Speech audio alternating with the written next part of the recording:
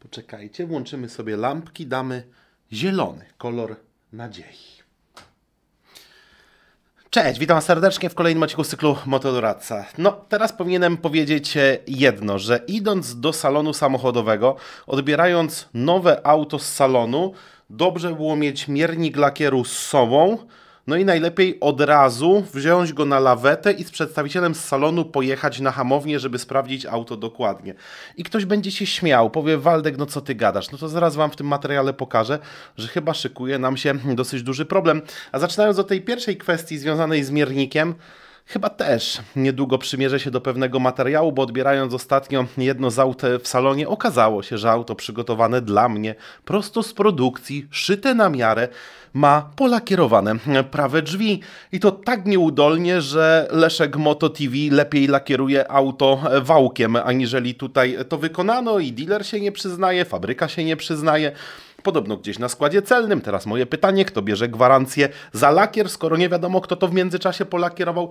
Sytuacja złożona, tym bardziej nieraz Wam o tym mówiłem, że nie ma co się krępować idąc do salonu, odbierając nowe auto za ciężko zarobione pieniądze, by wziąć miernik lakieru i sprawdzić to auto. Bo z tymi autami dzieją się różne cuda. Czy to w okresie wakacyjnym, jak na przykład któryś myjkowy, który jest na praktykach, zawadzi wyjeżdżając z hali, czy to chociażby właśnie na składach celnych, gdzie nieraz te auta są grupowane bardzo... E, wąsko między sobą, no i o kolizję też nie trudno. Dobra, odłóżmy sobie temat związany z miernikiem lakieru. I przejdźmy do innego smutnego tematu, tym bardziej, że sytuacja jest bardzo rozwojowa. Zgłosił się do mnie pewien młody chłopak, kurczę, równolatek mój, no dobra, już może nie aż tak bardzo młody, z pewnym problemem, że zamówił sobie do produkcji Forda Focusa ST. No w sumie bardzo fajne auto, 2.3 EcoBoost, 280 koni, ośka, no i co ciekawe, można to auto zamówić z manualem, więc już trochę taki biały kruk na naszym rynku, bo jakby nie patrzeć, konkurencja już się w tym momencie wykrusza. 5.8 e, do setki, 420 Newtonów, bardzo fajne osiągi, dobrze to auto przyspiesza. No tylko tyle, że Odebrał w tym roku to auto, no i mówi, tłumaczy mi przez telefon, mówi Waldek, no takie dziwne wrażenia, no bo przeróżnymi autami, szybkimi, wolniejszymi jeździłem, no ale no nie czuć było tych 280 koni, no tym bardziej wiadomo na początku, na okresie docierania nie chciałem jakby za bardzo szaleć tym autem, zadzwoniłem do serwisu, oni powiedzieli, że proszę pana, przez 2,5 tysiąca kilometrów to auto jest w pewien sposób też zablokowane i tak dalej, i tak dalej, no ale minęło te 2,5 tysiąca kilometrów, no i auto jak było mułem, tak dalej e, jest e, mułem. No i zaczął się tematem interesować szerzej. No ja tak już słucham tej rozmowy, mówię, no to pojedź na hamownię. On mówi, Waldek, już byłem. No ja mówię, no i co, z 280, 270 wyszło? Mówię, bo to jest naturalne, no tak jak w Renówce bardzo często, szczególnie, nie wiem, silniki 2.0 DCI nie trzymały mocy, zawsze te 8-10% było mniej, aniżeli katalog podawał mniej. Nie, Waldek, moment, moment, moment.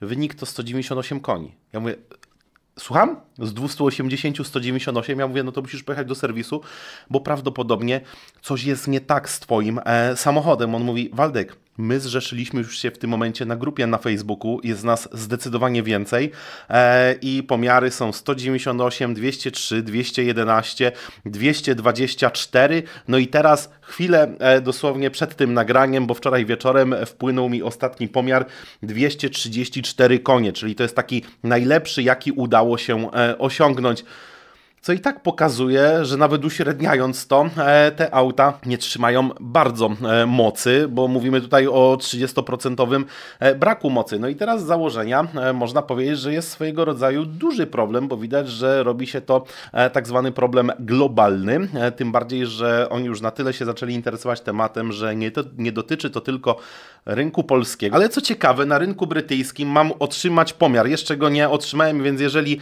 będę miał taką informację, wstawię w komentarzu. Na rynku brytyjskim w ogóle nie ma tego problemu. Te auta ok, może nie trzymają 280 koni, tam jest między 270 a 275, no właśnie, zapala już mi się taka mała lampka. Czy to nie chodzi o normy WLTP? Przecież Wielka Brytania z Unii Europejskiej się wycofała, no a z drugiej strony ktoś, kto kupuje i wydaje swoje ciężko zarobione pieniądze na Focusa, gdzie jest w założeniu podane, jakie auto ma przyspieszenie, 5,8 do setki. E, jemu udało się osiągnąć najlepszy czas 7,24. To jest jedno, ale oczekuje tego, za co płaci. A tutaj widzimy, że mamy towar niezgodny z umową.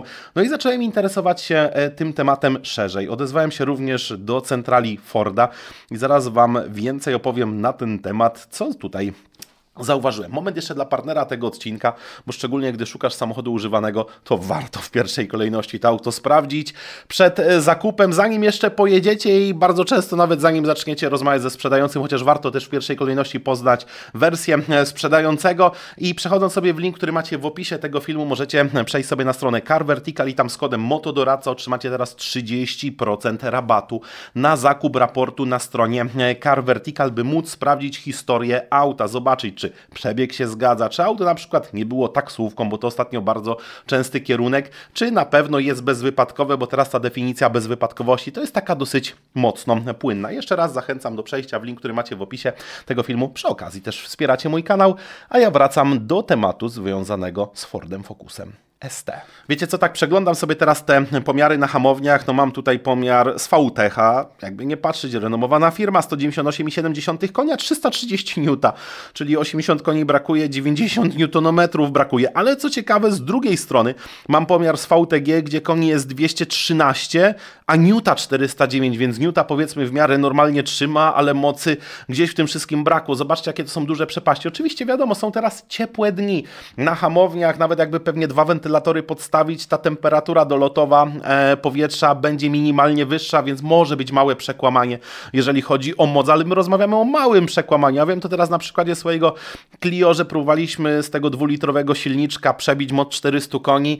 Nie udało się, niewiele brakło, no i usłyszałem hasło Waldek, przyjedź zimą, będzie wtedy wynik bez najmniejszego problemu, po prostu temperatura e, w dolocie jest na chwilę obecną e, zbyt wysoka, więc ja tu nie widzę problemu z hamownią, tym bardziej, że mam też dwa pomiary od zera do setki.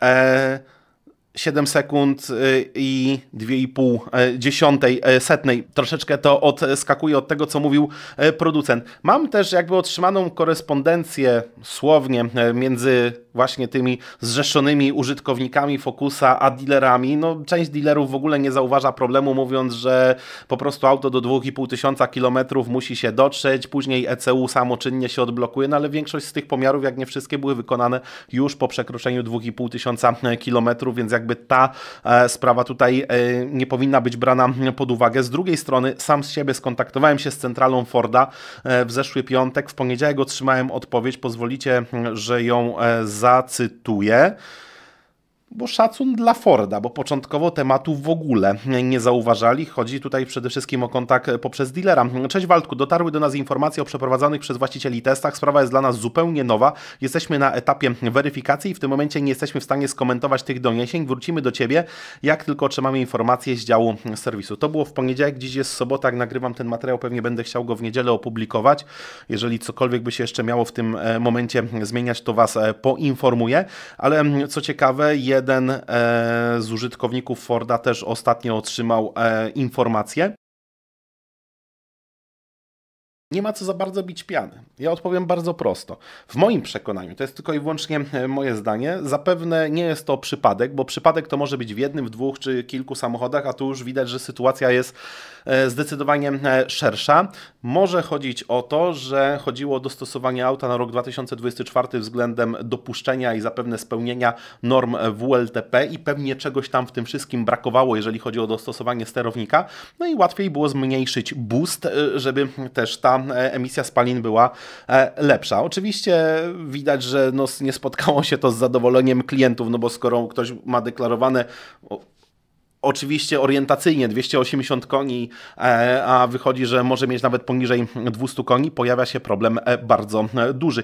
Tym bardziej w tych autach, to też mi właśnie ten użytkownik tu zwrócił uwagę, że zwrócił uwagę na jedno, przy wyświetlaczu, gdzie macie doładowanie, nie ma żadnej informacji odnośnie tego, e, jakie to jest doładowanie. Po prostu ten parametr mm, w tym momencie znikł z wyświetlacza. E, I zapewne Ford będzie musiał ten temat rozwiązać, tym bardziej wiem też już o jednym przypadku, no nie mogę zdradzać jakby z nazwiska, że właściciel takiego Forda Focusa ST pojechał na hamownię, gdzie zrobił zwykłego chipa. Miał 212 koni i po chipie ma 312. Jednym chipem 100 koni przybyło, bo najpierw odblokowano to, co zapewne producent zablokował, a później dołożono małą górkę. Więc jak widać, ten silnik ma zdecydowanie większy potencjał niż to, co obecnie jest widziane w salonach. Kolejne pytanie, które mi się tutaj w tym wszystkim nasuwa i było mi ciężko zweryfikować je na dzień nagrania, więc daję Wam tutaj pod dyskusję, to informacja, którą otrzymałem, że wraz z liftingiem i wprowadzeniem nowego Focusa ST 280 koni, 280 koni, 420 Nm, podkreślam, zastosowano półosie od silnika 1.0 EcoBoost. Nie wiem ile w tym jest prawdy, bo właśnie jeden z tutaj z użytkowników wysłał mi film pokazujący, że ma problemy z półosiami, że słychać chrobotanie.